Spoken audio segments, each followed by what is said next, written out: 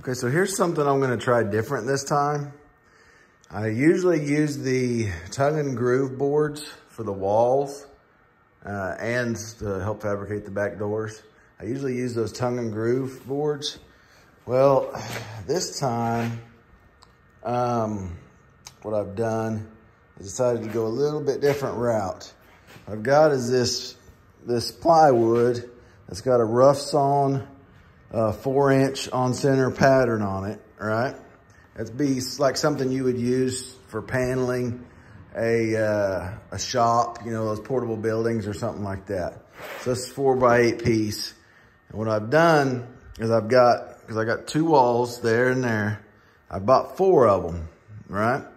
And because I want to have this pattern on the inside and the outside, just for aesthetic value, what I've done is I got four of them and I'm gluing them back to back. So on the other side of this is just a flat plywood, right? And then what I've done is the piece underneath this, I flipped over to where the flat plywood was up, pattern was down, and so it'll be back to back pattern when it's all done. And what I did is I, I put wood glue all over the place on this thing, and then uh, I've clamped it. I'm gonna let it sit overnight, and then what I'll do is I'll cut out, cut it to fit, and then, um, you know, so I got four pieces, so I got essentially, I'm gonna make two pieces out of the four. So, um, I'll let it sit, you know, dry, and then I will cut what I need, fit it in there, and uh, we'll see how it goes. And then I'll stain it. And it should provide the same look as the tongue and groove, you know, the three quarter inch tongue and groove boards, you know, or I say three quarter inch, one bys, you know, one by five, one by six tongue and grooves, but it'll actually be sturdier and uh, will have no, no weak spots in it as far as gaps or places to come loose. Even though I glue those too, you know, it has a tendency to be a little, uh, little tough to deal with. So I'm gonna try that, we'll see how it goes. All right, so it worked out pretty good. I let it sit overnight. These two pieces are now one with this same pattern on both sides. And I've measured this opening and I cut it to fit here. And now I'm gonna put it in there, see how it fits up. All right, so I tried dry fitting it already. I need to trim off a little bit more on one end. We'll see how this fits.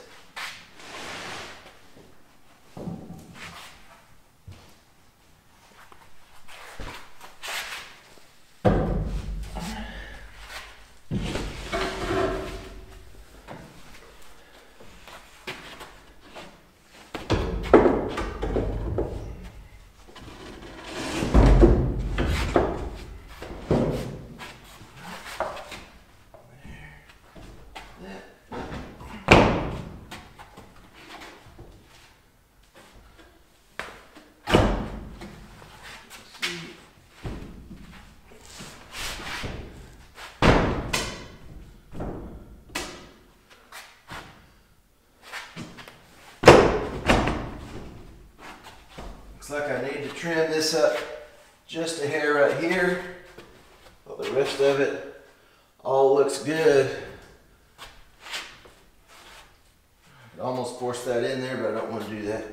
So, as you can see, that's that's a lot faster and it will have the same look as the um, tongue and groove but with, it's actually going to be sturdier because it's going to be one solid piece of wood instead of a bunch of five and a half inch pieces of wood there. So it actually looks really good. I'm really pleased. Let me show you what the other side looks like. We'll take a look at it. Oh yeah, see, look at that. See, we got that pattern. And once this thing is stained, that's I really like that. Uh, I really like this concept. I'm going to stain it a nice dark stain. I like that it's sturdier. Sometimes that, I mean, I'm gonna be honest with you guys, sometimes that uh, other stuff, the tongue and groove, can be a little bit brittle and just the way it gets kind of warped and the boards and everything, it just kind of makes you, I mean, I, I feel a lot more confident about this, especially once it all gets bolted in and secured. This is gonna be a lot more solid deal. So I'm actually gonna, I'm gonna get this other piece cut up. I'm gonna get this trimmed up just a hair. I'm gonna get this other piece cut up and to fit over here. And then the walls will be in. Man, that's, this is a lot easier to manage and deal with than tongue and groove. I'm just gonna be honest with you. And it's not only not only is it easier to deal with, easier to manage, easier to handle, um, it's going to be sturdier because it's going to be essentially, I mean, if you've ever handled a three quarter inch piece of plywood, it's sturdy. That's, a, that's what I've created. Right, it's a three quarter inch piece of plywood because these pieces are fused together now. And they're also going to be bolted together. And this is, this is going to be sturdy. So as you can see, I did the same thing like this side, same thing over here. I'm gonna do the same thing with this little gap. And then I'll also use some leftover pieces like that piece. We'll fill in here. And I've got some leftover pieces that I use to uh, frame out that door. And maybe, we'll see what I have here. I might have enough to actually frame out that, that door too. But so, this is what you end up with.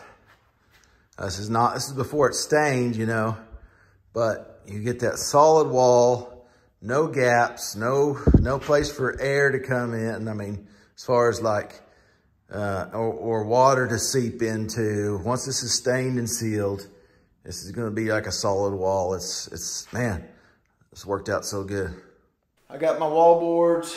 Remember, uh, I used this uh, siding or paneling, doubled it up and glued it together. And then I've stained it with this Valspar. It's a, basically a deck stain that stains and seals.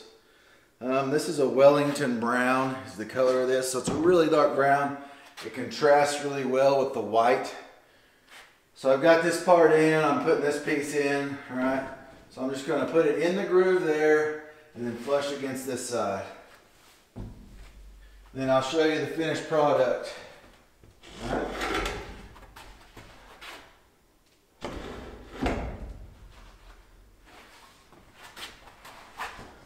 just to get it in that groove.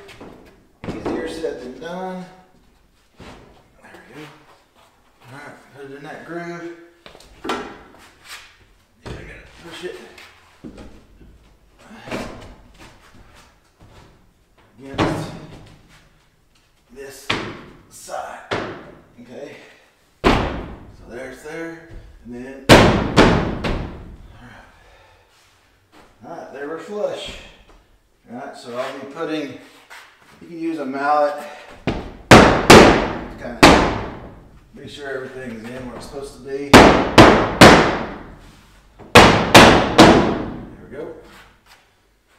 All right a wall done. There's zero seams in this, all right? That's what I like about this idea, this concept is there's no seams, which is great, all right? And I'll trim it up, you know, so it'll have a little bit cleaner look, so there won't be any gaps around it. It'll be a nice clean look, and I'll also put a couple carriage bolts in there um, to tie it to those, um, those that flat bar that goes up and down. So I'll show you kind of around the sides here. This is, see how it kind of looks? It looks like the tongue and groove, right? Looks like the tongue and groove. This side too, look at that. Looks like I put tongue and groove in there. It's actually one solid piece of wood, so check this out. This is what it looks like. Look at that. This is one solid piece of plywood. That's one solid piece of plywood. That's one solid piece of Let's look what the other side looks like. See, man, that looks great. Let's see here. The other side. Look at that. This is much easier and much faster. And in the end, it's a better product, right? In the end, it's just a much better product. I think that worked out really good. And see how, see how that dark wood pops against this, the white, once there with all the trim and everything is on, that's gonna really look awesome. Okay, to finish the inside of these walls, so there's a lip there, there's a lip for this one there. So I may, I got these, it's one inch um, flat bar, and I drilled a hole there and there to put carriage bolts through. As you can see, this I did the same thing right here. All right, lip so you put it, put it the board in the lip on that side, put it here, and then this bar locks it in. Did the same thing on this side. There's a lip right there. Slide it in there, the lip. Put it in here. Lock it in with that flat bar, okay? And then the outside, you can see, see like there's a flat bar. Now to drill this out to where this fits flush, you have to use this uh, step drill bit, if I can get it. See this step bit? And you wanna get it to where drill it deep enough to where on your carriage bolts, see that square, the square piece? You wanna make it to where that square piece fits in there snug and your head won't go through. So that's essentially, it'll you'll cinch down on the metal. It'll be metal to metal. So that usually keeps it from turning in the wood, whereas this, you're, you're, you're using that step bit whatever I just did. Using that step bit and you're drilling down just to where the, the top of the head won't go through, but that square part will fit snugly in there. And then you end up with this on the outside. You can see you just, I, I use these acorn nuts because they look really nice, stainless acorn nuts, right, to secure everything. And of course there's one back in there. So on the other side, it a real clean look as well because what you do when you when you when you get use that lip over there, you know, I secure some with this flat bar as well. But when you got that lip over there, it helps you minimize the amount of fasteners because that lip acts as all your fasteners you need on that side. So anyway, I hope this helps somebody. I'm gonna use the same style of wood, you know, sandwiching it. I'm gonna use that to actually fab up the back doors and the serving window and then this small square over here this area that I fabbed up this is going to be a, a door but you'll be able to open it up and have you a menu on that side you know it was a lot it was a lot taller door and I just took that out and uh, fabbed up a little smaller area to make it make it fit the dimensions of the serving window and that be just to flow nicer just for aesthetics.